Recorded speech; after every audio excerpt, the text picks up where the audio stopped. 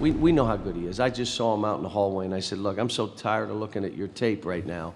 And, and what I said to Bo in the back, we were laughing, how much better he's gotten in, in over a two-year period is like almost scary, like holy cow.